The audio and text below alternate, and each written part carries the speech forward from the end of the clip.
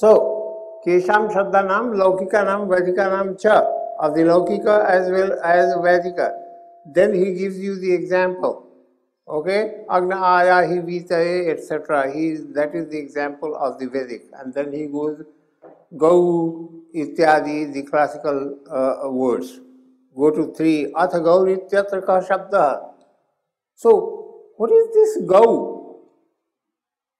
and then he said raises the question, Kim, okay, Kim yat यत शासनालांगुल ककुल खुल विषाणीनाम संप्रत्यम सशब्द I wish I could give you this whole thing, you know, the translation is, is fantastic, beautiful.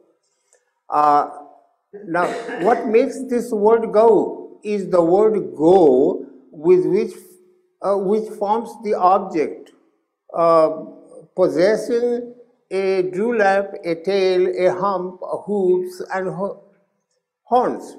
Netyaha, no, that is not Shabda. Dravyam Nam Tat is a thing, okay? No. The, the grammarian says, is the grammarian's view.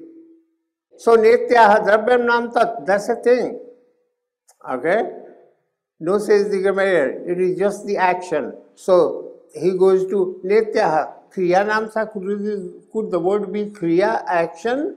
He says, uh, यत्तर्हि तद इंगितम चेष्टितम निमिषितम स शब्द इंगित pointing चेष्टितम striving निमिषितम blinking the eyes is that shabda no nityahano kriya namsa that's action it is then the word which is beckoning moving and wink, uh, uh, winking no says the grammarian it is just the action Yattar Shuklo Nila Krishna Kapila Kapota iti sa shabda is this blue, black, kapota. How would you translate kapota? The color of a pigeon. So yattar he, now you can define it as grey or whatever, a shade of grey particular.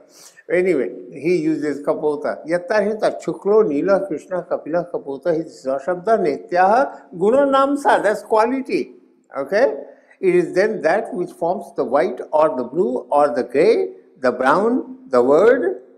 No, he says, Yattarhi tad bhinneshva bhinnam chinneshva chinnam samanya bhutam sa shabda. In general, that is the word. Is that samanya one, the shabda? No, akritir namsa. That's the jati, akriti. You talk about jati, not vyakti. Let's move on. Is what then the object which remains unbroken among things which are so is that a thing which already stays?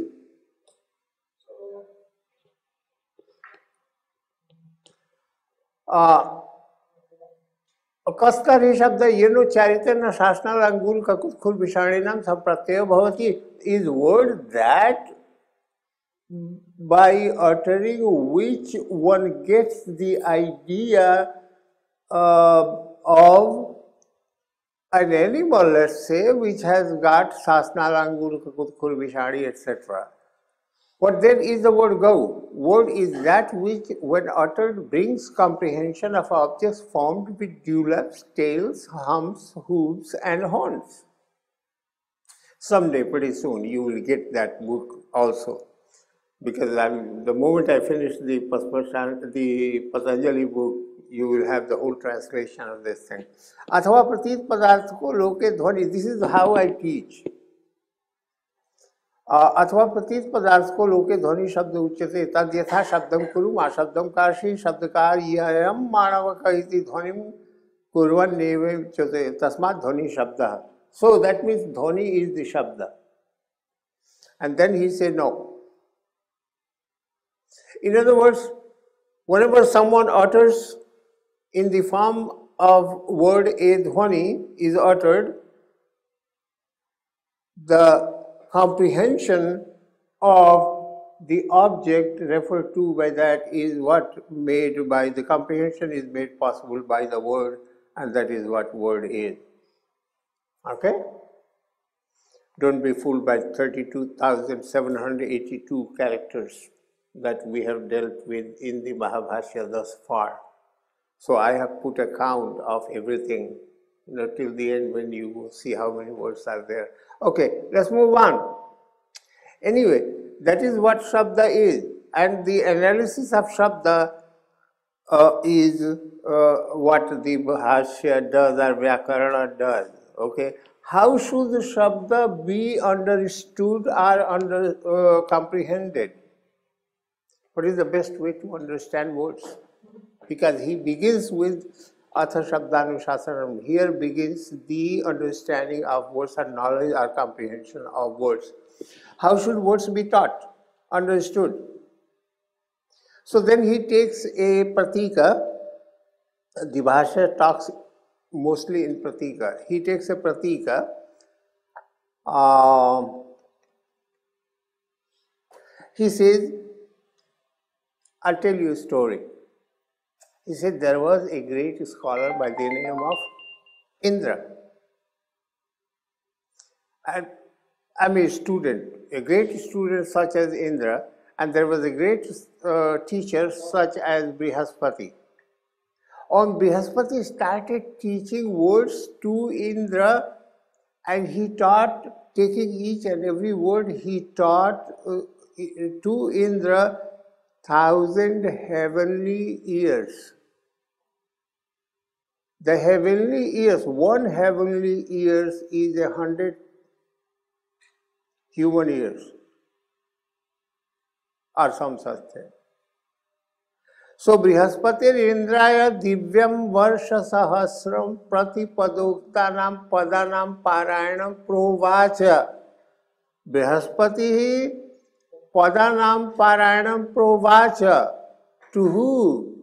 Indraya for how long? Divyam Varsha Sahasra, 1000 heavenly years. Student like Indra, teacher like Brihaspati, thousand heavenly years taking each and every word. Nantam Jagama couldn't see the end. So Patanjali says, poor us. What to talk of us humans, the mortals? Yes, sarvatha chiram jivati shatam jivati. He who lives really, he truly lives for long, he lives for a hundred years. Yes, sarvatha chiram jivati shatam jivati. Kim adhyatve. What to talk of today? So how should word be taught? He says this technique of teaching each and every word and being unsuccessfully even spending thousand heavenly years. What should we do? He says, Anabhipaye Shabdanam Pratipattav Pratipad This technique of each and every word and reciting it and explaining it, this Pratipad Patha is Anabhyupaya is not really a good means of understanding words. Anabhipaya shabdanam pratipattau pratipada patha. This is all coming from the Paspashanika. So, this is no good means. So what should we do? किंचित सामान्य विशेषवाल लक्षण प्रवर्त्यम ये नाल्पे न यत्ने न मातो माता शब्द उगान प्रतिपद्येरन So what you should do, you should formulate certain general rules. And then you should um, formulate certain related particular rules. The rules must be related, the general and the related particular. So kinchit samanya visheshava lakshanam pravartyam, they have to be formulated. Yena by means of which yena alpena yatnena with little effort, no thousand heavenly years, with अल्पेन यत्नेन Mahato महतः शब्दौघान प्रतिपद्येरन so that one may comprehend, understand this vast ocean of words. So, this is the formula 1. you must formulate rules, general rules. Then you must tie in with the general rules the exceptions. And then still there will be some rules needed which could be called residual shesha. So Samanya Vishesha and Shesha are the three categories within which Paninian rules are formulated. Okay, that's one principle. किंचित सामान्य विशेष लक्षण प्रवर्तन ये नाल्पेन यत्न मातो माता शब्दगुहान प्रतिपद्येरन सामान्य विशेष वल लक्षण प्रवर्त्यम सामान्य विशेष and shesha shesha is the residual the leftover miscellaneous which cannot be categorized as samanya and vishesha. Furthermore he says samanya na utsarga kriyate based on their generalization a general rule is formulated. Tesham visheshenapavadah and then their exceptions should be formulated. Related rules. And this is how rules have to be presented. Okay? We'll get plenty of chance to look at the uh, rules, the general rules, and we'll also get the exceptions and we also get the you know we have the are you familiar with the vibhakti section of Panini's grammar 231 anabhihite and karmani dvitiya etc. Okay. So, karmani dvitiya is the general rule. But there are rules where, where karmani dvitiya doesn't apply. Those are the exceptions of karmani dvitiya. Then there are certain rules where you bend the rules and you find something that makes possible the understanding of certain words. Let's go to an example. Sashti. I, I brought this question of Sashti because in the Vibhakti section, what is the denotation of Sashti? What is the meaning of the nominal ending Sashti, genitive? Yeah, genitive is, Sambandha is just one meaning container, contained, anga, angi. These are all the meanings. Okay, here is the meaning that I, am just going to shock you with that. You know, Sampradana Chaturthi, in the sense of Sampradana, what is the meaning of Sampradana? Sampradana, Sampradana is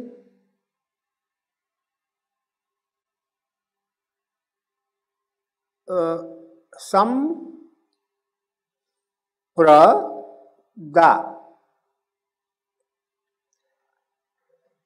giving something in prakarshena diyate pradhanam the action of giving with some special sense okay but let's just take one general example upadhyaya Gamdadati. right? He is giving the cow away to the teacher. So, prakarshena danam pradhanam. The sense of da must be there in the sense of Chaturthi. Okay? What is dana? Can anyone define what dana is? Dana is not simply giving. Dana is a very complex word. Dana has to be, first of all, you approach the uh, recipient of the gift with reverence, adara, etc. And you must know that he will accept that dana from you because there are many nuts who will say, I can't accept food from you. I will not eat yours. I will not accept your gift because you are a black marketeer, you are you have tons of money. I don't. So then comes a sentence. Rajakaya vastam dadati gives the clothes away to the washerman. So you're using Chaturthi in Rajakaya Vastam Dadati parallel to Upadhyayagam Dadati. Something must be wrong. Vyakarana must make it, must make it clear. I wouldn't like, see, because I am giving the vastra to the uh, Rajaka, washerman, so that he could wash it and return it back to me, not you know, just be happy and wear it onwards, you know, doesn't return it.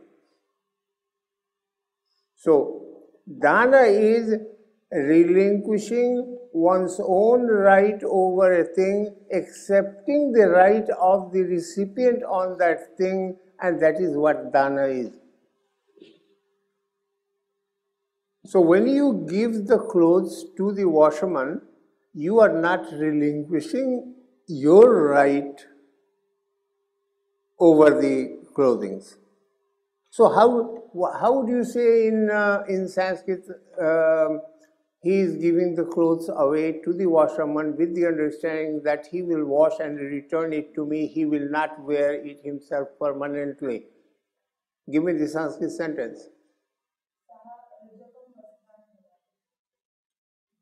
That's where you will get Sashti Sheshe. Rajakasya vastram dadati. What you are doing, you are using the genitive to supersede the meaning of Chaturthi. So there must be something special about that context so that you are using the genitive instead of the dative. End of the conversation on Vibhakti. Let's move on. So,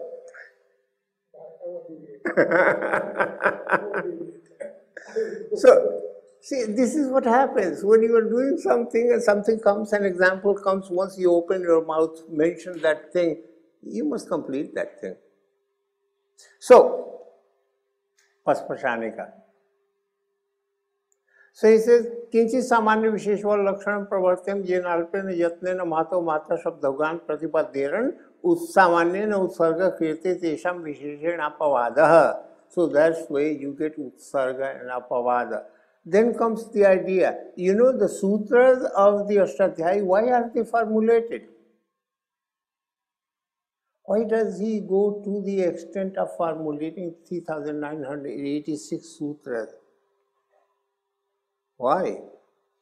So that they apply and with their application, the results you get a better comprehension of words, right? Shabdanusasanam, that's the purpose. So, but the thing is, the rules are formulated for application. If the rules don't apply, they're useless. What happens when it rains? the rains, it rains all over. The clouds, rain clouds do not see this is the ocean, it doesn't need water, I shouldn't be raining, raining over the ocean because I'm needed somewhere else where the farmers is tilling the land. No. That's why there is a uh, saying in Sanskrit that says, Parjanyavad lakshanani bhavanti. Rules, they behave like Parjanya. Remember the first premise? The rules are formulated so that they apply.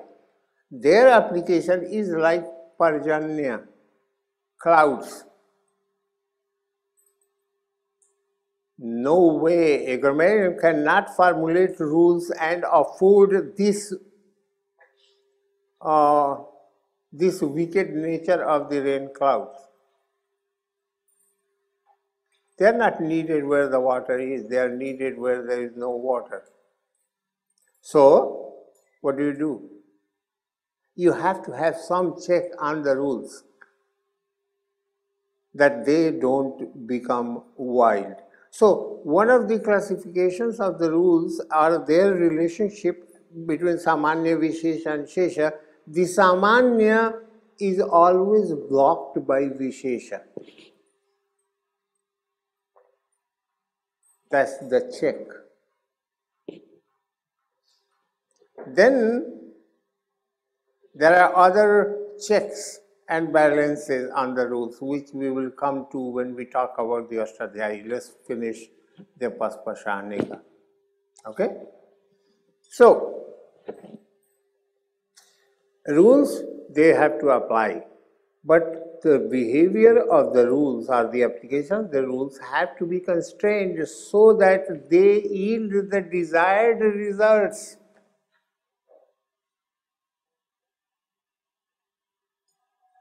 In other words, the idea is that when you are studying the Ashtadhyayi, you have to study the rules, but you must study the rules from the point of view of their formulation.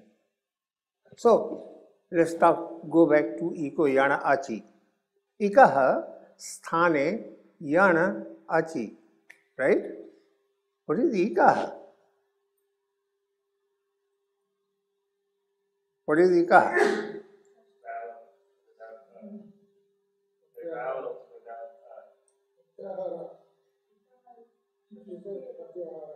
Okay, let's go to Maheshwara Sutra and Shiva Sutra. What is the Shiva Sutra?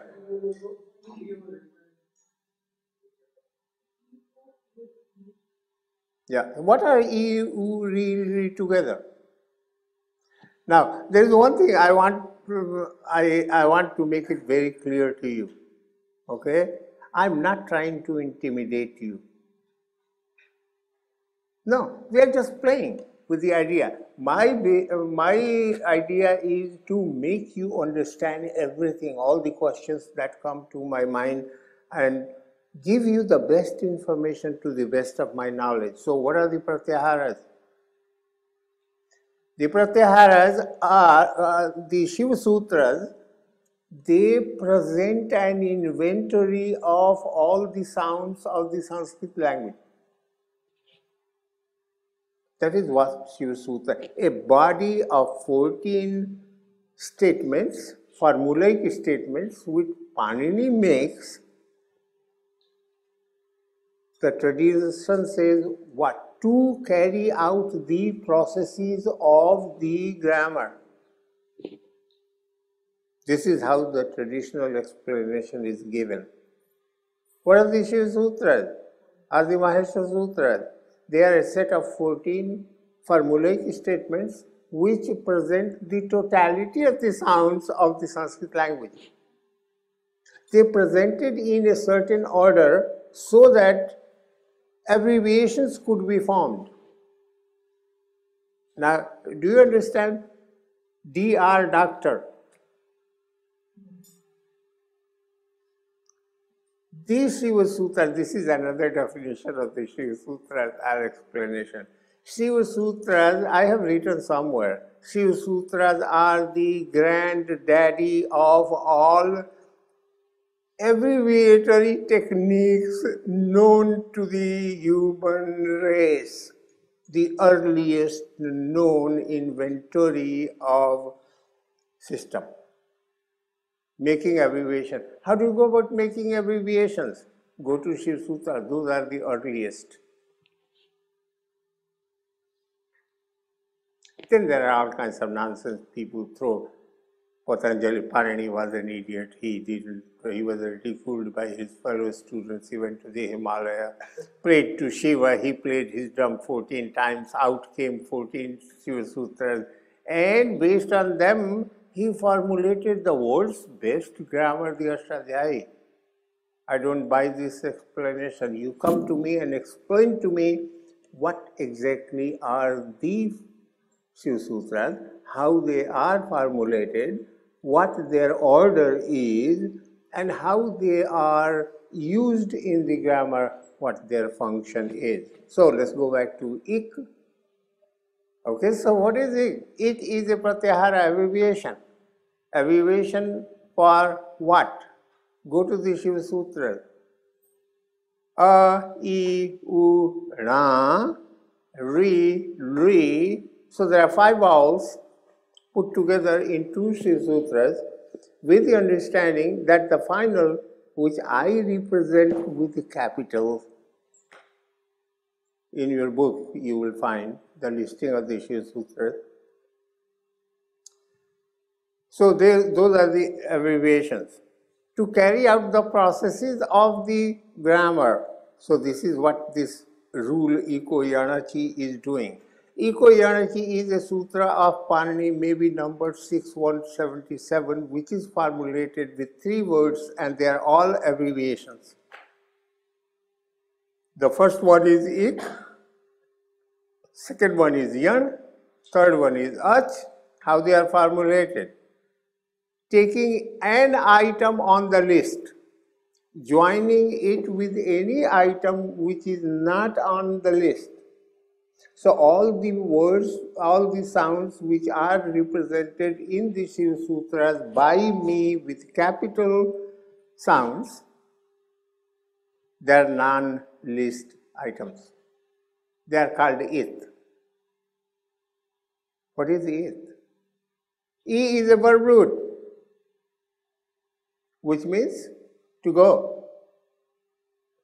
It is that which is gone, is made to go away. Non-list item.